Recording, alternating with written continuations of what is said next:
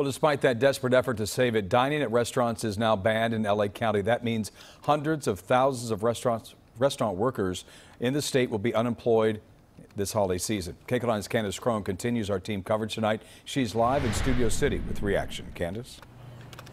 Yeah, the ban on outdoor dining affects, as you mentioned, hundreds of thousands of restaurants, including uh, Casa Vega here in Sherman Oaks. Now, business owners and city leaders fought the restrictions, but ultimately lost. Are you guys, everything okay? I'm very frustrated and sad right now. Say goodbye to dining on the patio, on the sidewalk, or under a tent in LA County. As of 10 p.m. tonight, Restaurants and bars like Casa Vega and Sherman Oaks will have to offer to go only for at least the next three weeks. Bartender Gordy Zaragoza says this is a major setback. Definitely a downbreaking. Yeah, it's devastating. We were really starting getting our feet, and now we have to again figure out how to support our families. Despite passionate last minute pleas, the county has ordered all outdoor dining to halt, saying the surge is too high.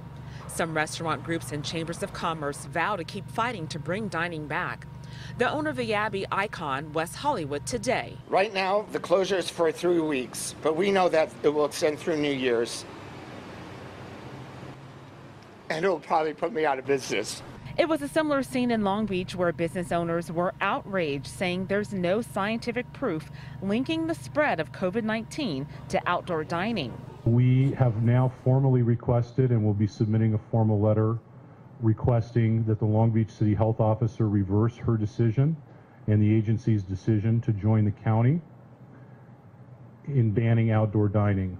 People we spoke with say they fear the restrictions will cause the virus to spread and will lead to workers struggling to feed their families at a time like this. I'm frustrated because I think it's the complete wrong decision. I think that this is going to force people to go indoors and gather and see people, whether it's in groups of four or six. And I think that the, it will cause the virus to spike even more, which will keep us shut down even longer. Again, the outdoor dining ban takes effect for the next three weeks. There is a little bit of hope for restaurants in that they are able to offer takeout and delivery. We're live in Sherman Oaks tonight. Kandiss Crone, KCAL 9 News. All right.